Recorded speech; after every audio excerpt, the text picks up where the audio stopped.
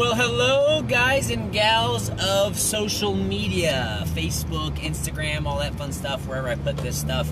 It's your friendly neighborhood realtor here, Matt McCrory with the Tim Stout Group at Keller Williams, Johnson City. I'm hands free, so just like I'm talking to myself, but I have a magic phone here that tells you what I'm saying. So don't report me or nothing.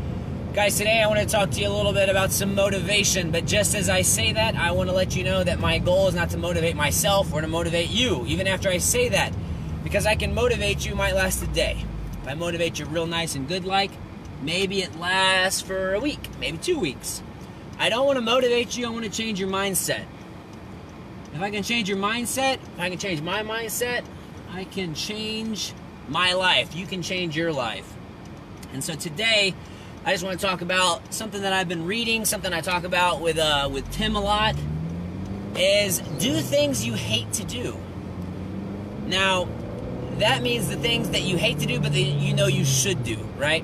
Uh, that would be getting up early, going to the gym. That would be the hardest part of your day. Say you hate doing the the paperwork of your job.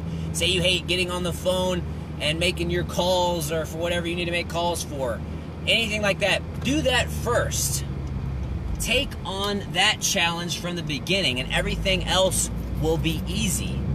Right? This morning I did not want to get up. I did not want to work out. Matter of fact, I told my wife, I was like, leave me alone, I'm going back to sleep. But something inside of me was like, get up and go do it. And the rest of the day was smooth after that. It was a pretty busy day. I had two closings. I had to run between, get a closing gift because it was left somewhere, had to run around and I had to meet a buyer who's looking for some property out in Kingsport, and I was just on it for the rest of the day because I got up and I took on my biggest challenge.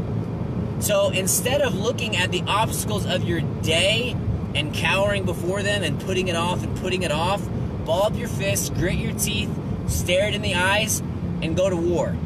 Go to war with that thing that is towering over you in the day and the rest of your day will look like a rainbow, right? It's to be a piece of cake. So that's how I'm challenging myself this week. Is these things I don't want to do, these things I like to put off. I'm putting those at the very front. I'm tackling on head forward. You guys do it with me. I'll encourage you. You encourage me. We're one big Facebook family, right? That even rhymed. Dang. All right. But yeah, that's just what I got for you guys today. Have a great Monday. Have a great week. Be the best you can be. All right. Remember, guys, who you work with matters. If you have any questions at all, feel free to reach out. Y'all have a great day. Bye bye.